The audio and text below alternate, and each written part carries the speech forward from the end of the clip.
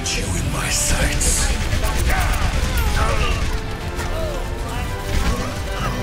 Team up for special.